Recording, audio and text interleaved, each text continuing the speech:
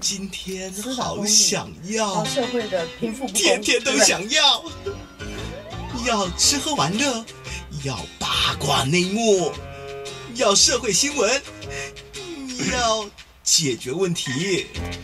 刘君耀下午两点，非要不可。好，我的九八新闻台，你收听的是非要不可，我是让人非要不可的刘君瑶，受要要，又到礼拜三新闻三条线连线时间，在下那是连线的委员，你好。谢谢说要要快要到过年了，要先预祝听众朋友新年快乐。是，哎，这个在哎，等于是明天，哎，是明天就除夕的哈、对，马上就除夕了啊，我们嗯，过年呢，其实，因为家家里面的事情呢，都是家里的总司令在掌管，哦，呢所以你就轻松的没有在做什么事吗？没有没有，我都 我是司机老刘，哦，司机老 司机老刘要载他去哪边买，那那就那边买东西，就那边买买东西这样子对。那你你准备的差不多了吧？你也是，哦，对我准备差不多，但你又是职业妇女，你又是家庭主妇。我本来其实已经开始慢慢准备了一会儿，但是我父亲前几天去荣总，所以我今年大概不会过年了，应该会在荣总过年。啊这样子啊对对对，OK 好，那就预祝呢这个呃所有的老人家呢都是身体健康。对，过年的时候哦大家真的要小心保暖。像我爸爸，他很快很快，就是他送去医院，然后第二天就进加护病房，所以我也很期待听众朋友呢，你们家里有老人的要好好珍惜跟他们在一起的时候。是哦，OK，好，那可是呢，有这段时间呢，我我其实这上个礼拜了哦，从上礼拜跟你聊完到今今天，我记得我最大的感触是哦，呃，咱们台湾的媒体，嗯哦，一点都不珍惜自己的手上应该要扮演的，公权力哦对公权力也好，公监督监公器哦公器对。然后怎么去监督哦，不管是政府或者自己本身要做好一个像媒体的样子，嗯。哦，所以呢，今天呢，我觉得呢，有两个事情呢，我想跟跟六伟呢先来聊一聊。第一个呢，当然就是呃，总统府哦被冲撞了哈、那总统府被冲撞了呢，这个国外人家有没有可能白宫会被人家冲撞？那、冲撞的，万一有人要去攻击、要去冲撞的时候呢，它会是什么样的一个？哎，我们来讲一下二零一三年哦二月、那天我正好在华盛顿的故事。哎呦，OK，好，那这个一定要讲。然后呢，这个呢，我也看到我们的媒体怎么会今天不管是总统府跟你来来开记者会，跟你们讲说，你看那个二兵好厉害哦，什么的，才可以及时的按下那个那个防弹门。可是这中间那么大的一些漏洞，竟然我们就不追了。我不晓得媒体在干嘛哈、嗯这待会请您来平息一下。在平息这个之前呢，我想另外一个呢也是媒体啊，呃，《中国时报》啊，《中国时报》在上个礼拜呢登了一个呢很大全版的一个广告哈，我这个是一个影印的了啊，但是呢那个全版广告我不晓得大家有没有有没有看到，整个的一版就是帮蔡衍明在美容哦啊，更讲难听点就在擦屁股。《中国时报》是谁的媒体？是蔡衍明的媒体。中天新闻啊，《中国时报》这都是你蔡蔡家的啊，等于是你的你的公器了。但是呢，人家说你呢，可能在国外呢有逃有避税有干嘛呢？你就登了一个全版的这样的广告呢来做，哦，来做一个说明。呃，当然了，买买全版广告来说明 OK 了，但是第一版是要文啊，它写个要文版，但我不晓得刘委员嗯，在国际间，你也在国际媒体待过哦，对，这样子的一个情况多见吗？可以这样子把媒体的公器当做私人家族再来来运用吗？对这个，其实我很仔细的想过这个问题啊。就像我们以前在教道德啦、伦理啊，教这个媒体精神自律，什么时候最难的问题就是这一类的问题。对因为台湾的媒体，现在你看算每一个媒体啊，可能都把头版卖出去过，是啊，是是，他都卖过头版给商业行为使用。所以对于这一点呢，因为它整版登的最后是有剧名剧名是台商旺旺蔡衍明，对，他比呢把这个内容全部不具名的嗯。消化打散在他的媒体的内容，包括报道跟舆论里面还是好一点。OK，他把它拉，开来，他出钱，这是他的立场。嗯。啊、所以他如果把他这些内容全部都消化成为媒体记者写的特稿啦、嗯，专栏啦、嗯评论的话我，那我们在这个地方呢，就更受到了媒体不公的影响。嗯可是这里它明明就是剧名的啊、所以这是一点。另外呢，它的内容里头，我有喜欢也有不喜欢的。嗯，喜欢的是他明白的就讲出来，他要讲的是有关于国外账户跟避税的事情，是这是我喜欢的。嗯，那台湾的媒体在前一段日子讲这个议题的时候呢，我们时常喜欢攻击了亚谁几了 g 嗯打翻一船人。嗯，实大量去打翻他们的时候呢，它就会造成了整个社会的一种类似反商跟仇富的情节，其实是不好的。所以他主张是说，如果你在当地已经完税，因为大家知道，如果在台湾营业以前，我们是营所税是百分之二十五，现在降到百分之十七嘛，所以你已经在企业上面你是有交税，你不是完全逃漏税，所以你不应该因为有海外账户就直接断定别人逃漏税。这个内容我觉得是好的，因为在台湾的媒体里面这些通常没有。可是我最不喜欢的一点啊，也不光是我不喜欢，我觉得在道德上最过不去的是这一页的头应该大量的写说这一页是广宣，对，它不可以是 A one 要文版。嗯哼，它如果这一页的头有很大的字写广宣，是你知道这是一个广告，嗯那就是你中国时报，你可以攻击他说你这是没有格的报纸啊，你把头版广告卖给别人。可是至少大家就更明白知道它是广告。对我觉得广告跟我们的 editorial 就是编辑的内容、跟报道、跟评论，嗯在报纸上它的分野要非常非常清楚。是不过好在就是它整个的完稿用那么大的字啊，这种写法呢，大家基本上是会知道它是一个广告，嗯但是这个媒体没有把它明确的用广告来处理，嗯其实是错的。嗯那如果我是蔡衍明蔡老板的话，我会做的更好一点。嗯如果我真的要去买全版头版的广告，嗯我就每个报纸都买。是我去买了联合，我去买了自由，我去买了苹果，我去买了中石，嗯。就好像譬如说以前那种大的产品推出的时候，他们不是每个都买吗？对。就是更明白讲说，这就是我私人立场，对。那他就不会被人家攻击说，哦，你去弄中国时报，又在 A one 要闻报，怎么可以拿自己的报纸来做这些事情？对。所以他在这一点上，他的整个媒体他该做的事情是，他应该去明白的说，这就是一个广告，是我这个个人的广告。好好，它有剧名，但的确是有剧名了。但是《中国时报》在嗯 A one 的这一版上是不应该上面挂的是“要闻”两个字。是那这个呢，我就要继续再再再追追问了哦。嗯为什么其他的报纸的一版不会卖给蔡衍明来登这样的广告？第一个当然是蔡衍明没有去买嘛，但是第二个就是说，蔡衍明哪怕你那么有钱，你要去买人家一版的广告的时候呢，他愿不愿意卖给你？对，因为一版，因为一版的那个位置代表了这一个报纸媒体的报的。风格。对，可是我现在回头来骂台湾媒体喽。哦，台湾的媒体的一版有卖过啊，当然有卖过，我们都看，我们都看过。记得他曾经卖过嘛？对，所以其实我认为媒体最多最多应该是卖一版的下面的半版。是好，那台湾的媒体自己已经堕落到他一版随时可以卖了。是，既然你可以卖人民有言论自由的话，你应该 open access 哦，嗯。就是你不能说哦，我跟蔡衍明是敌对报纸，所以他要来买，我不卖给他，这是是。不可以的。如果你作为媒体，对不对？会这样子好，那其实你是不可以的。所以蔡衍明真的这一次如果做得更好一点的话，他应该是去各大报纸去买一版下面的半版广告。是，他可就是我认为不能因为他很有钱，他就不可以表达他的意见。嗯，当当然可以他表表达意见买广告是可以的，对，但是《中国时报》这样处理是。是不可以的。但是不要那么粗鲁嘛。嗯，这叫财大气粗，不不过就是这样，这个是最最典型的财大气粗。我自己自家的报纸，我自己买一版整版，然后呢，我我说我是台商哦，旺旺蔡衍明这样子。嗯，那其他的报纸呢，完全没有办法，没有看到你你你你这样子做，表示你要去买，人家可能也许不会卖你，因为人家觉得说，我如果今天身为另外一家报纸的总编辑，我认为这样子做是不对的，哦，因为这个这个东西是你你要表，当然，你你如果今天来买的时候，我一定在在你我的前面的，我就编得非常的清楚，这叫做呢广宣。广宣。对对对，他应该要讲是广宣。其实你看他很多的现在的很多的的这个广告的那个部分呢，上面的报头绝对都是这样子的，对，广告特辑啦，什么东西哦我要，都会很清楚的讲因为我们的 NCC 他反而不管这个。啊，在美国管媒体的时候，他最管的是说你有没有把广告的内容嗯。包装起来，嗯，变成内容藏在媒体里面，是，那就在置入嘛，哦置入哈。对。但是我们呢，过去他又不让人冠名，对，冠名其实就是很明显，那不算是置入啊，嗯。就是我 sponsor，大家都知道的，我你是付了钱嗯。才会叫冠名的。嗯，所有的媒体的管制里面是要管制观众或者是乐听人不可以在不知不觉中嗯。被人影响，嗯哼，所以只要他明显的把它标出来，嗯。他换一个纸，嗯。换一个颜色，上面明白的标出广宣，是。那观众跟乐听人可以看说，哦，这是一个广告，我可以决定要看不看。是，可是我觉得过去我们的 NCC 的很多管法。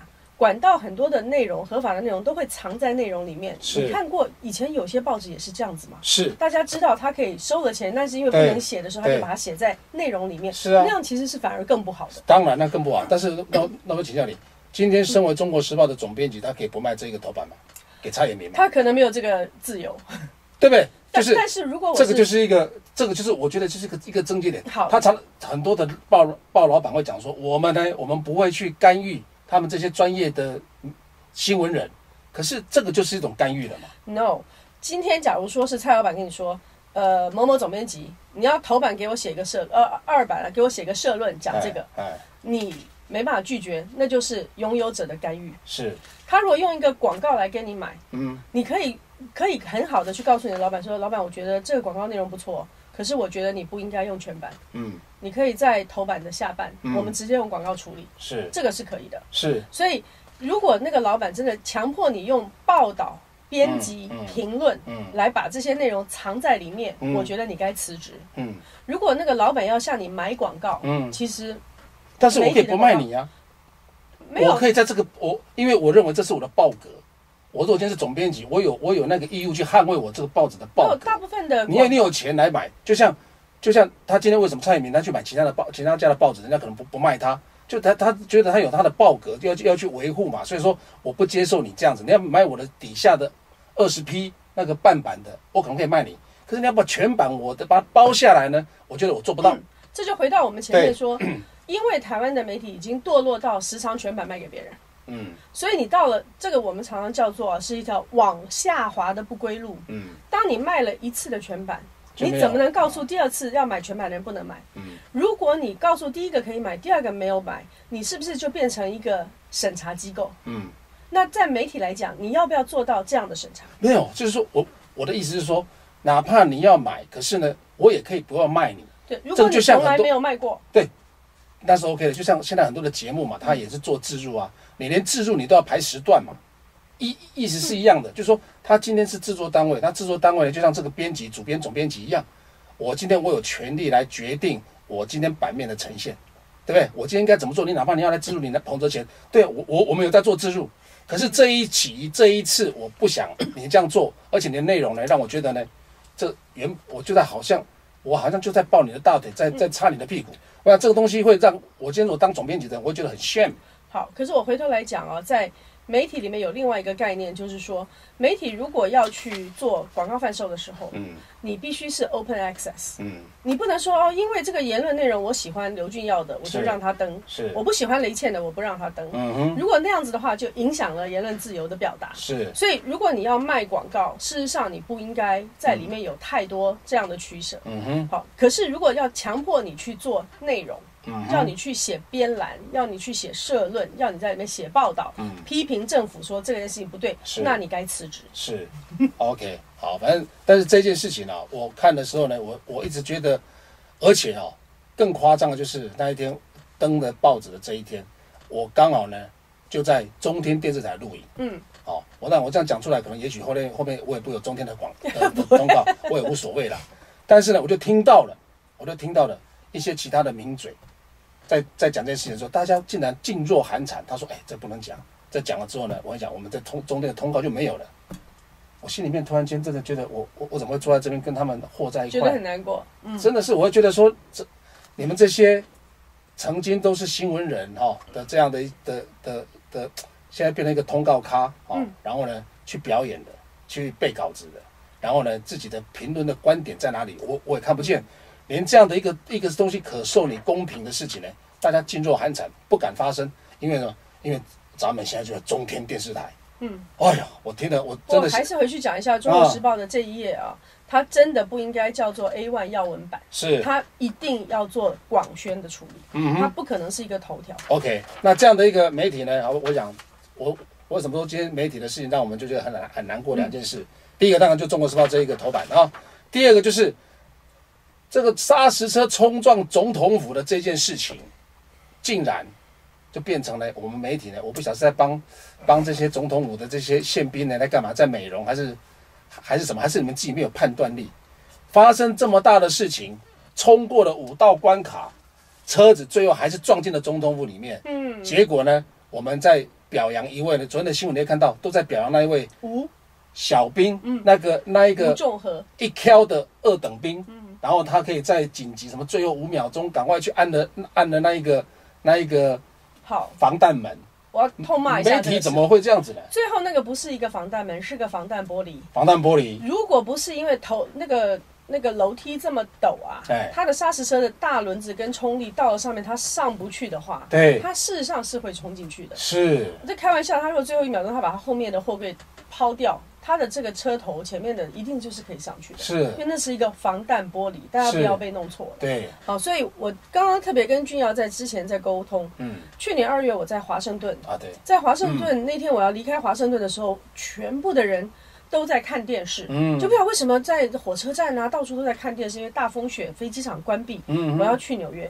所有人都在看电视。就是那天有一个人，大家知道，自从九幺幺之后呢，本来大家可以到华盛顿的白宫前面去照相啊，嗯后来白宫前面的这条路呢，左右两边就封起来，嗯，就你不可以直接开过。白宫前面有草坪，后面是白宫的那一条路是被封起来。嗯嗯有一个太太，她开着车，还带着小孩，她拒绝别人叫她停止的指令，哦她没有停，嗯她就往前开，冲进了管制区。嗯最后，整个整个华盛顿的警察在华盛，然后他就开始逃跑啊！对因为她冲进管管制区以后，对方就开始阻止他对开枪，他就开始逃跑，有枪响哦，他开始逃跑，最后。他在华盛顿里面一直跑跑跑跑跑，最后他就死了。他是他是下车逃跑还是在开着车开着车跑啊开着跑车跑跑跑跑跑，冲撞就在那边撞对啊，那最后，当然也有人说是无意啦，也有人说是隔壁啊，就是说他反正他就是最后撞了车，他就死了。他车上还有一个小孩，啊小孩子呢？小孩我不太记得，因为那天我离开啊。但是但是至少从这个消息你知道，因为我是在火车站上看到，对他这过程是你只要进入了管制区，啊你就被当地的执勤特勤的警察。阻止以后开始追逐，嗯在华盛顿追逐，啊，在华盛顿特区里面追逐，最后就是完全的把他把他制服，或者是隔壁，或者是怎么样。嗯好，那这中间有一个非常大的紧急应变机制，而且它是一个强力执法的紧急应变机制。那我们问一下，在中华民国台湾的报纸上面，嗯这些紧急应变机制到哪里去？也没有任何的检讨我看到没有任何的检讨，没有任何的声音。那这那然后呢，还还一直在讲说，还有那还好那一个二兵赶快按下那个门钮，那个二兵按下那个门钮，跟这个事情他有挽救什么吗？没有挽救任何的事情啊，他还是撞上来了啊、问题是，他把那个他把这个事情呢变成一个好像英雄。你看英雄，嗯，然后呢，他转移焦点。啊，我我都不晓得，如果我今天我今天是采访的记者的话，我根本不会去看这个这个点，你给我的这个点，我根本觉得那个就是你在转移焦点。我们进广告，广告之后呢，咱们继续来聊。好，那九八新闻台我刘局长受邀要新闻三条线的一线时间，在我们当然是雷建的委员，嗯那位你好。那我想，呃，这样子的一个媒体版面的呈现，我不晓得乐听大众就是大家的读者了哈、你们看到这个报纸之后，就觉得，哎呦，大家的焦点当然就变成说那个二兵，嗯，是这个事情好像挽救了什么事情这样子，对，可是没并没有啊，就像你是老媒体人啊、通常一个要闻出现，像这么重大的事情，对。你一定会有第一则就讲这事件本身，事件，接着你就再讲它的背后的情形，然后第三则是分析嘛。析。通常你会有三个 story，尤其是在电视上也会这样子。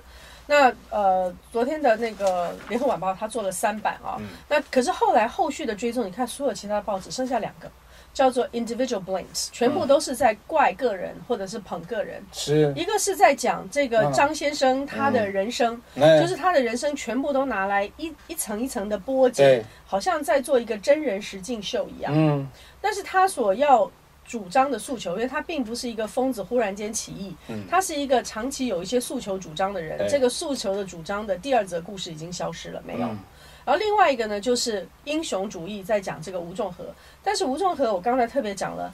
如果他是一个小英雄的话，嗯因为我不是低估他在当时做这件事情的了不起啊，我不是这样说。嗯嗯，可是他周边所有其他同僚到哪里去？是啊，这个车子来的时候，有没有人开过一枪试图阻止这个？因为他是很明确的，是对着总统府冲撞的有没有人开过一枪来阻止，试图阻止这件事情，就算对空鸣枪也可以、啊。没有，那最后更重要的是，嗯，张先生不是被两幺幺的两幺幺师的人去制服的，对。他是被警察制服的，对，所以整个的维安特勤的机制消失了，荒腔走板。荒腔走板，是。前面没有，中间没有，后面也没有。也没有，对，然后呢也没有检讨，没有检讨。就是连我跟那位去，我们都不会去，因为那个二兵，我们就说，哎呀，这个二兵的怎么不重要？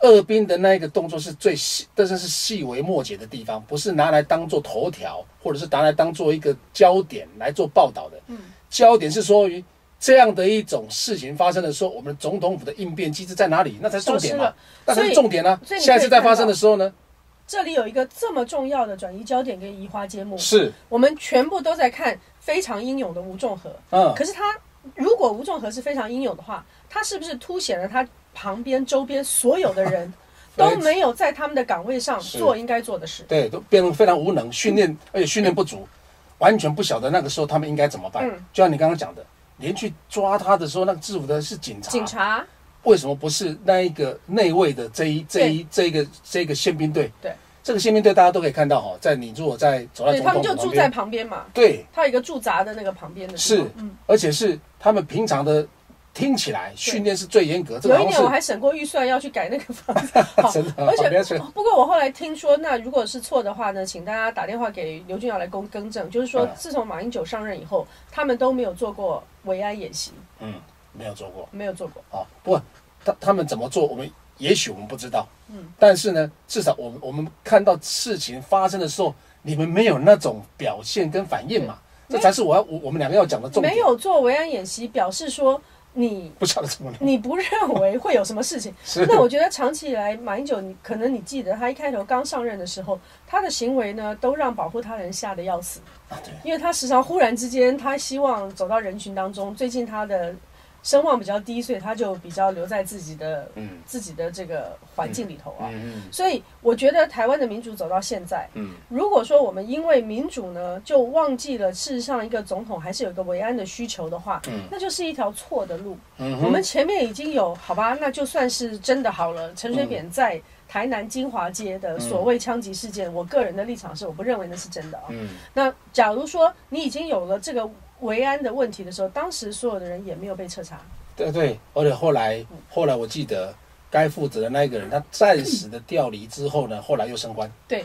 对不对？后来又升官，所以说变成好像说让我觉得什么，哎呦，这个人当年呐、配合演出有功，因为全世界哪有一个你应该保护总统，然后居然在路上让他被枪杀了、是枪击了，还副正副总统一起，是不是？这太荒谬嘛，太荒谬。那这一次呢是同等的荒谬。那我们一定不能忘记，它有两个部门啊，两个部分，一个是两幺幺它的责任，现在在媒体里面全部消失。嗯，第二个呢是张先生他的呃所有的主要的诉求和他的人生现在变成一个真人实境秀，是这两件事情都是台湾媒体荒腔走板的表现。是。可是另外一个荒腔走板，你没有提到政客的反应，哦，胡说八道的。这些政客的反应说什么啊？因为呢，你今天民调低到这样去，人家不撞你才怪。我呃，他毕竟是我们的总统，嗯总统府也是我们的精神象征哦。我觉得这是完全不可以说的话，那怎么我们的政这种客是话是一一点点都不能说的话。这个意思就是说你活该嘛。是那这种话怎么可能可以说呢？这是不可以说的。那为为什么我们的政客会会？对你也是政治人物，对，任何一个政客，你可以去鼓励说，哦，我讨厌这个人，我就去把他干掉嘛。哦你不可能用这样的标准来看中华民国台湾现在的社会。是好，那在这过程中间，我觉得遗憾的就是政客表现是荒腔走板，但是张先生他所要诉求的有一些东西，虽然我极不赞成他的表现方式，嗯可是那个极不赞成的部分呢，是过年的时候，我觉得我们也该稍微讨论一下。好就是中华民国台湾的现状里头，过去你看历史上的那种最糟糕的朝代，或者是国际上面最糟糕的政府，它跟人民发生关系的两件事情，第一个就是司法不公，嗯，所以那种冤案冤狱让人民愤怒；嗯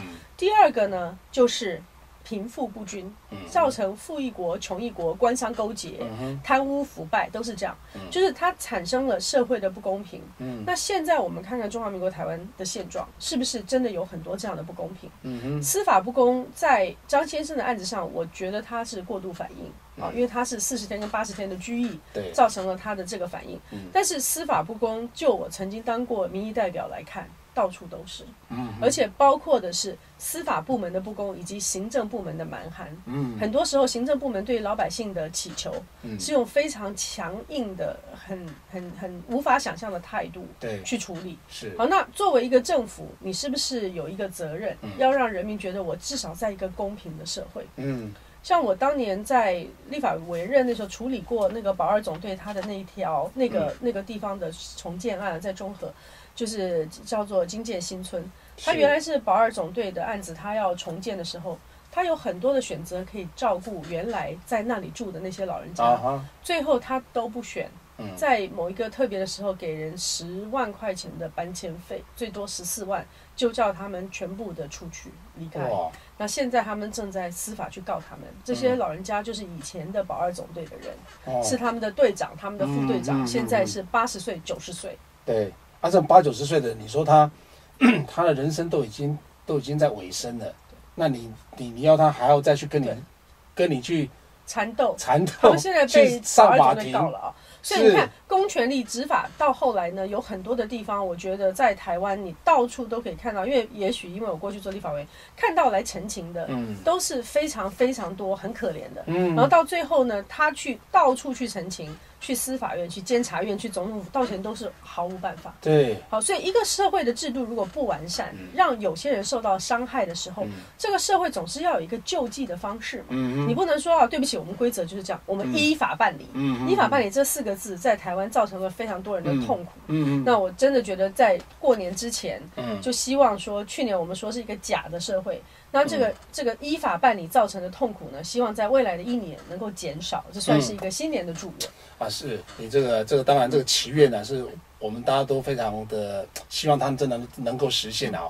不过你这个讲的时候呢，再讲到我真的对于这整个痛苦，社会的这样的一个结构哈、的串联性啊，我就觉得哎呀，真的真的好得好好的来这帮大家梳理一下。嗯，大埔案，大部分大埔案，那对。张耀房，对，他们有去他们澄清，想尽办法去澄清，但是就是去澄清的时候，房子被拆的，对，多荒谬啊！对，他到台北去澄清，结果呢，趁着你不在，后刘正宏说天赐良机，嗯，赶快给他拆给他跳掉，因为现在人都不在，嗯，他们就像你刚刚讲的，他已经已经觉得不公了，去到处澄清，结果他到处澄清的时候呢，变半扛牙，嗯。我他的他的重要的基地呢，没有人在那边守护，嗯。结果房子就被拆了，造成后面这样子的然后一些，张药师的死亡到嗯后来就是大事化小，小事化无的处理掉了。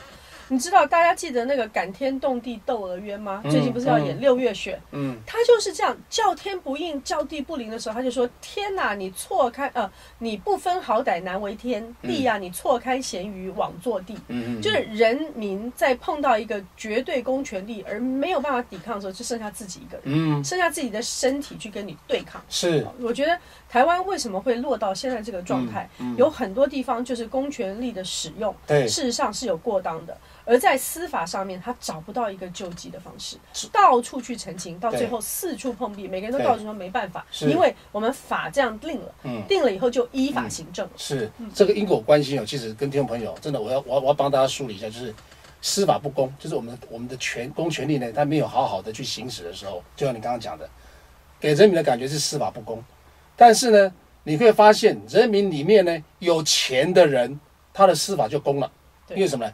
有钱呢判判生，无钱判死。对呃，你看今天这就是我们要讲的蔡点衍明有钱，有钱到可以把人家的一版，把这个媒体买下来就算了。我平常想登一版就登一版，对不对？我叫蔡衍明，你中台湾有有几个人像蔡衍明这样子？他不过就是避税被人家讲一讲的时候呢，他就买买媒体这么大的一个一个版面呢，来诉诸他的哎，来来讲他的诉求。今天这个张先生也好，或大埔的这些张哎，怎怎怎么都姓张？还有 e 张亚啊，是。徐旭东啊，是。他们有钱到呢，他们可以为所欲为，所以呢，就造成了一种错误的价值观，咱们活在这个时代，只要削钱就好了，只要你有本事，管他是非法的，我只要能够削钱就好了，我只要能够避税，我该缴的税啊，我就避掉啊，避掉这些钱呢，我就可以来为为所欲为。这样这样的一个社会的价值观，让每一个人，我想现在的老百姓也好，宅男也好，你去看看他们心里面想的，做这个哦，我我我要做到什么时候才才能有钱？这种心态会变成什么呢？又回到最后呢，我很无奈嗯，无奈，无奈的时候，他累积他的怨恨，他开始会有仇富。嗯，仇富现在也是这样来的。对仇富，我我今天为什么可以？我我为什么不像连胜文或像谁？我出生下来的，我就是含着金汤匙呢？然后呢，我今天得在那边遭受这样的司海司法不公的迫害。对。然后呢，他们就把这怨气呢，就出在公权力上面，回到这个社会上面来，这就这个循环。我跑社会新闻啊，你会看到我所采访过的这些事情呢，这些有钱人怎么样去削钱，然后这些没钱的人怎么样去用自己的生命想要去换一点公平，这个就是我们的社会。现在呢，我们大家在里面呢缴获的做一个负循环了。没有错对。我先进广告。好落后国家是这样，是广告之后呢，咱们听雷委员来分析。好，那九八新闻台刘俊耀受要要刘建刘委员在现场，雷委员你好。嗯所以其实啊，刚刚那一段呢，我们讲的比较这个激动一点啊，其实就是看到呢这个社会的不公不义哈、嗯，一直在很多的细节上面的出现。其实我们今天讲的都是，我们不是只有讲一个什么大道理，点，嗯，我讲的都是事件。你从大补换的事件，从你看到蔡衍明去登一版的的这样的事件，你从张先生去冲撞总统府的事件，这中间其实它是有一个脉络可循的，嗯，它这有一个因果关联的。你不要以为说，哎，我蔡衍明跟这个冲撞会有什么事情啊？我告诉你，就是有事情，这是日积月累的一种转移，人民的情绪呢，在看到这样子的一种一种他他自己本身遭受的不公不义、司法不公，可是又看到你们这些有钱人可以这么样的这么的自在，我觉得我这边帮你再延伸一下。来，如果说这个社会是公平的，就像说我小时候，我们家也很普通，很普通。我爸是个军人，很穷。可是你看你周边的人，他们都觉得他只要打拼，他在这个公平的社会中间可以竞争，是他可以白手起家，他可以从没有到有。嗯好，当当你的社会有很多的流动的可能性，你的三级，我们不常说三级贫户的孩子可以做总统嘛？当你的社会可以流动的时候，不管你今天在哪里，你都有机会。对，我们今天在讨论的不公不义呢，就是说台湾的这种公益的机会是不是嗯逐渐在消失？是如果你这些公益的机会在消失，那么人民自然就会有一种愤怒跟仇恨。嗯你刚刚说的反商跟仇富呢，都是这样的一个结果。那这是什么象征？是第三世界国家的象征。哎呀，有钱的人很有钱，对没钱的人就像奴隶一样。那有钱人为什么很有钱？我要讲的下面一个是最可恶的，就是官商勾结嘛。是，他因为跟政治权力对，政治是一个绝对的权利，对人民来讲，对它跟政治权利挂钩了以后，使得它能够急剧快速的累积财富。嗯，所以到最后，为什么第三世界的国家时常我们有说冲突升高型的革命啊，或七万升高型的革命，是，是你会发现你不推翻这个政府，你就打不破官商勾结。对，你恨这些商人的剥夺，因为他们借着公权力，借着跟公权力跟政府的连结，使得你完全没有机会。是，那台湾现在是不是逐渐在这样子呢？嗯我们常常在说，哦，当企业并购国家，好像是一个其他国家落后国家的事情。嗯，可是前段时间大家讨论了 e-tech，、我们讨论了高铁，我们我们难道不是在看到多好，最有钱的人，他可以用公权力，可以完全蛮憨的，毫不顾及你的，可以一夜之间把收费站全部拆掉，对，九百个人忽然失业。是，就是说，这个国家的不公不义跟官商勾结已经到了这个程度了。是，所以人民的愤怒呢，会在各个地方出现。对，我当然不希望有更多的人像张先生一样，嗯，可是你会发现，当人民对于政府跟这个社会基本的公益绝望的时候，嗯，会有很多很多的地方会冒头起来。对，它底下的愤怒跟它的就像岩浆一样够热，已经热到这个程度。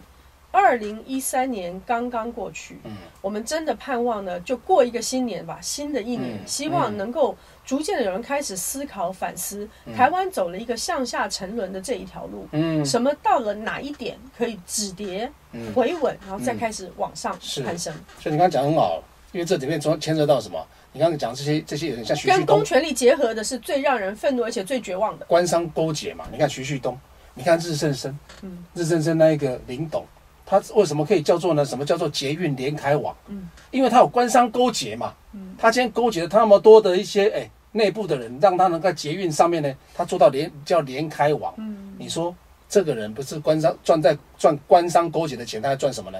人民会愤怒是因为说我看着你在哎很多买了日美日升生美和市的人，他现在搬不出去，产权不清。你说他愤不愤怒？哦不好在他们因为交了一笔钱，所以他们还是拿到了他们的房子，OK，至少可以过年。是非常感谢叶文道秘书长，谢谢。谢谢。